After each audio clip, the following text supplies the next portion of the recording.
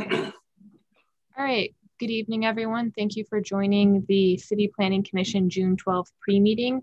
This is a meeting uh, between staff and the planning commissioners uh, where we discuss each cases and just go over everything um, just as a last minute review and touch base. Uh, there is no participation by the applicants or uh, the public at this meeting. Um, that will follow at the public hearing, which is held at 6 p.m. Um, as an uh, announcement, this will be our last virtual hearing. Our next scheduled hearing is August 9th, and that meeting will be conducted in person um, at City Hall and City Council chambers. Uh, same start time, so the pre-meeting's at 5 and the public hearing itself is at 6 p.m. Um, commissioners and applicants will be in person. For anyone wishing to, uh, to comment on a case, they may do so either by showing up at the hearing or they can submit comment in writing ahead of time.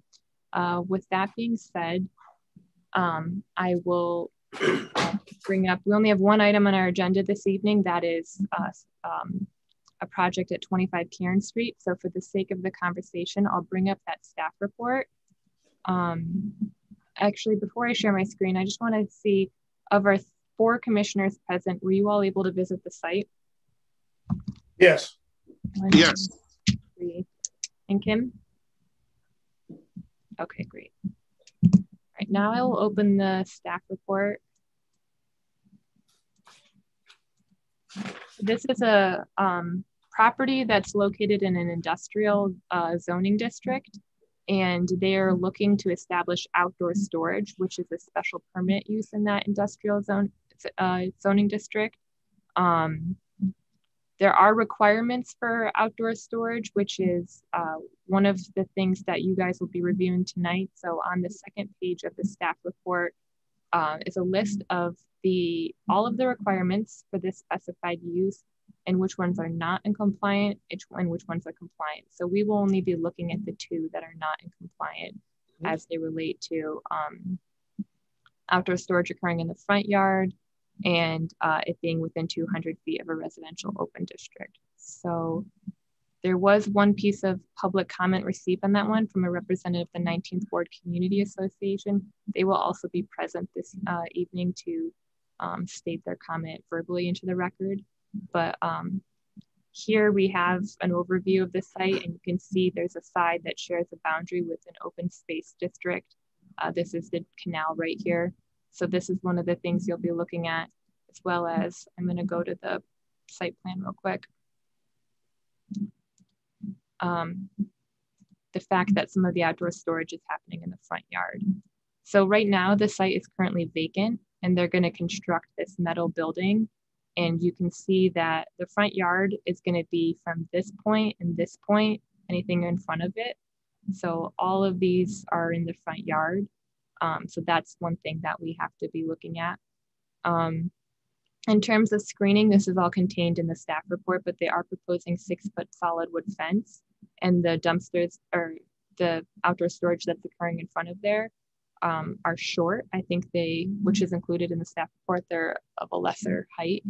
Um, but this is all information you've already been provided ahead of time. I was just kind of using my sweet time since we only have one report, uh, one case tonight to kind of just go over the minutia here. But um, did you guys have any questions for me? Yeah, I did. Kind of uh, was there on the map of the uh, fence? It appeared to be in in the center of the berm. Is that correct? Uh, the fence is going to be along the property line right here. So they're proposing a six foot chain link fence in the rear. Actually, let me zoom in even closer because it's not your length. Yeah, that's on the canal side. Correct. And, and the berm, the berm itself is also on the canal side. Okay. And then the other wooden fence on the north and on the on the east. Yep. Is that also on the top of the berm? On their property line? No, the berm is kind of just like overgrown landscaping that's kind of providing, which is kind of acting as screening, inadvertent screening right now from the canal. I don't know if I'm, I, let me just quickly look through these pictures. So is the berm more on the adjoining parcel The berm's on the adjoining parcel. For the sake Okay. of this document, the berm is not cited as its screening. Uh, screening is only required to shield it from like the public view. So for the sake of, um, I'm gonna go to these, these th- things that we're waiving. So we're looking at, one of the things when this permit was reviewed is whether or not it's, um, visible from the right of way. And we were looking at the right of way Cairn Street and how if we would be able to see the outdoor storage from there. So from the right of way Cairn Street, we're unable to.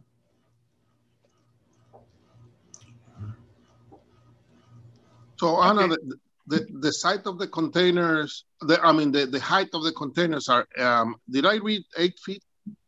No, uh, that's the max. Yeah. So Oh, okay, okay. yeah. So right here we have.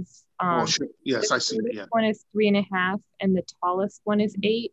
And I'm gonna zip to the site plan, and I can show you where they've placed the eight feet ones.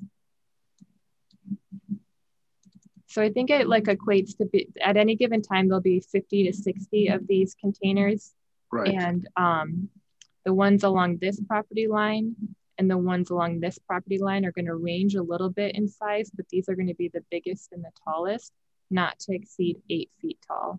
okay,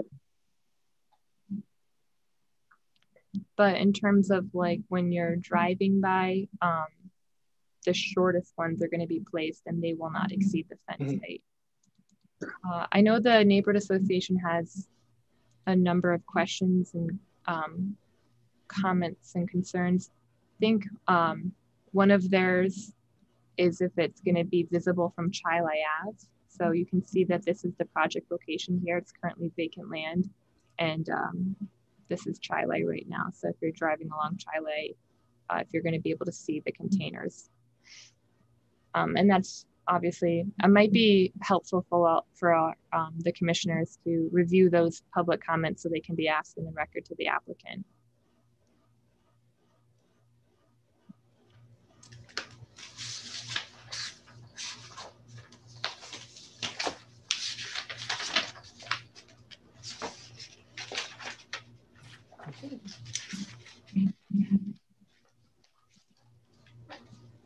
Is that, oh, um, Milton, were you able to visit the site? I didn't see that you joined us. Oh, yes. Sorry, yeah, I was a little, little late. You're good. Okay. Um, anything else? Nope, I don't think so. Alrighty. Uh, with that being said, I guess we will adjourn the pre-meeting and then we'll reconvene at 6 p.m. for the hearing itself. Okay, oh, you want to give Markiba a call? Yeah, um, I'll give her a call. I, I imagine she'll join at 6, but Oh, sure, understand. yeah. All right, so